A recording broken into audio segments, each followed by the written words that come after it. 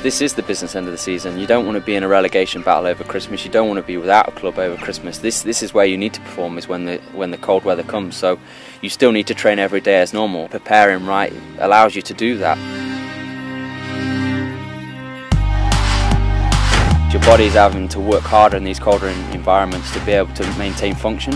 A warm-up is imperative. The muscle temperature, if that starts to drop, that can affect uh, your power output. So we need to make sure that the boys are warm before everything they do.